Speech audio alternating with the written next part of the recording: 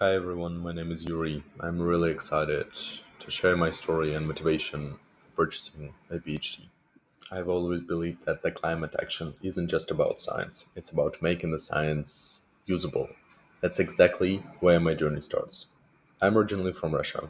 I've seen firsthand how fossil fuel driven politics can affect global stability in a negative way. Since 2014, I've made it my mission to shift the world towards a more transparent and just energy system starting with data. Today, I'm already living in Berlin and work in climate tech company, building carbon accounting tools that help businesses reducing their emissions. But there is a huge problem, especially in the aviation sector that accounts almost two to three, uh, two to four percent of uh, global GHG emissions. It's the fastest growing source of emissions. There's still no global standard calculating uh, carbon footprints. One calculator states that the flight emits 200 kilograms of CO2, another says 800.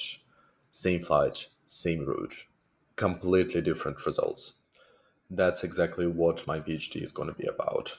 I already started working on it during my master's program, which was in sustainable development, and now I want to focus on developing a harmonized global framework for aviation emissions reporting, one that integrates life cycle assessment, sustainable aviation fuels, and even non CO2 effects, like contrails.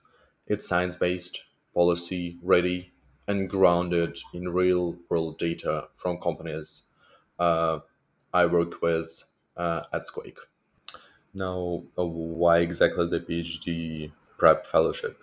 Because doing a PhD is more than research. It's about vision, mentorship, and being part of a community that lifts each other up. The Admit uh, Lab fellowship would help me sharpen my proposal, build my academic network, and gain the confidence to take the research to a global stage, as it is super important on a global level. So if you've uh, made it this far, thank you for being here. Thanks a lot for watching my video. Please like, share, and comment to support me and the Admit Lab in helping scholars like me to achieve their PhD dreams. If you'd like to apply for the fellowship, uh, visit phdprepfellowship.com. Let's build something that matters.